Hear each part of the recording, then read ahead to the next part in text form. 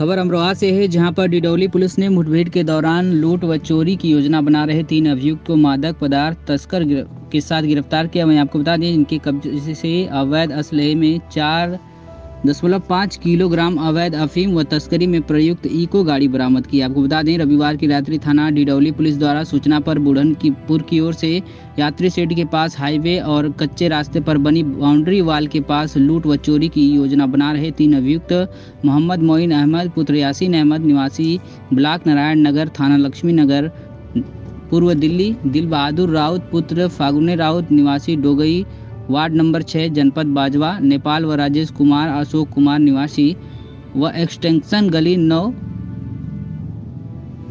थाना लक्ष्मी नगर, पूर्वी दिल्ली को बाद में पुलिस मुठभेड़ के दौरान गिरफ़्तार कर लिया। वहीं बताया जा रहा है कि अभियुक्तों द्वारा एक राय होकर पुलिस टीम पर जान से मारने की नीयत से दो बार फायर किए गए, जिसमें पुलिस टीम बाल बाल बची, गिरफ़्तार अभियुक्तों के कब्जे से अवैध दो अवैध तमंचे व चार ज़िंदा कारतूस व दो खोखा कारतूस, तीन सौ पंद्रह बोर, चार दशमलव किलोग्राम अवैध अफीम व तस्करी में प्रयुक्त इको गाड़ी, जिसका रजिस्ट्रेशन नंबर डी एल व सी आर इकहत्तर चौहत्तर बरामद हुई है। गाड़ी के कागज़ न दिखाने पर धारा तो दो सौ सात एम एक्ट के अंतर्गत सीज भी किया गया है।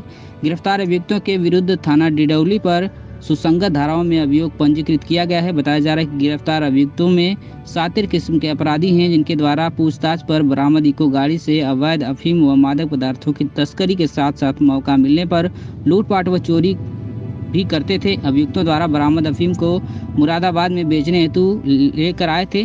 खरीदार न मिलने पर चौधरपुर के आसपास की फैक्ट्री में लूट करने की योजना बना रहे थे, जिसे थाना डिडौली पुलिस द्वारा नियमानुसार अग्रिम वैधानिक कार्रवाई की जा रही है।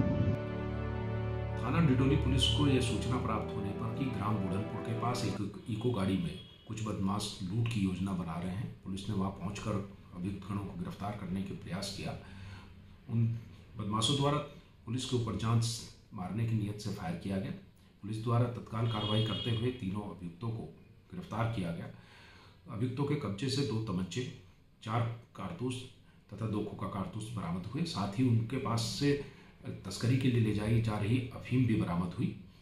अभियुक्त गण को गिरफ़्तार कर जेल भेजा जा रहा है। इसमें उल्लेखनीय है कि एक बदमाश नेपाल का रहने वाला है, जो इस समय दिल्ली में रहता था, तथा एक बदमाश मूल रूप से अमरोहा का रहने वाला है। जो वर्तमान में लक्ष्मी नगर दिल्ली में रहता था, तथा तीसरा बदमाश भी लक्ष्मी नगर का है। अभियुक्त गण के बारे में अन्य जानकारियाँ जुटाई जा रही है, इनके द्वारा कितने अपराध किए गए हैं, वैधानिक कार्रवाई कराई जा रही है। इस वीडियो को लाइक करें, हमारे चैनल को सब्सक्राइब करें। बेल आइकन ज़रूर प्रेस करें हमारी न्यू वीडियो सबसे पहले देखने के लिए।